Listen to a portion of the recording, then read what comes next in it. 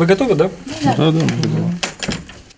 Дмитрий Шишанов, студент Белорусской академии искусств. Параллельно с учебой успевает работать актером в театре и делать постановки. Его режиссерский дебют состоялся в прошлом году. Спектакль «Ангелочек» номинирован на премию «Золотая маска». Сейчас он с успехом идет на сцене Мурманского театра кукол. Будет ли столь же успешным «Вишневый сон» по пьесе современного драматурга Вадима Ливанова, постановщик еще не знает.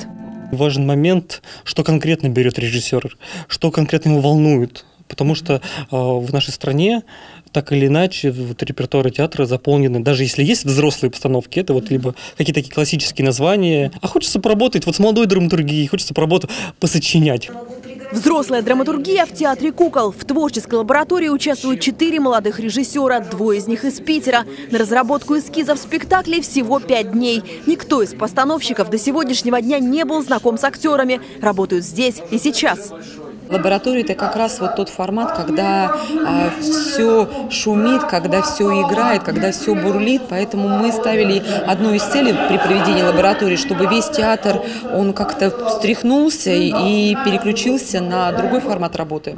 Без пошлости, откровенных сцен и ненормативной лексики спектакли для взрослых должны быть глубокими и философскими, уверены участники лаборатории. Ведь в погоне за зрителем и прибылью можно потерять настоящее искусство. Мы с публикой публикой можем делать все, что угодно. Мы можем ее опустить угу. до таксиста. Да еще таксиста ничего. Там есть и похлеще хуторок, вечерок. Вот. А мы можем ее поднять, как Белинский писал, та же самая публика, как она способна переживать. Какому эскизу спектакля суждено быть постановкой, определят эксперты в ближайшую субботу. Премьера одного из названий, вероятнее всего, состоится, но только в 2020 году, когда театр кукол переедет в новое здание. Елена Кузовкина, Алексей Фризин. Наши новости.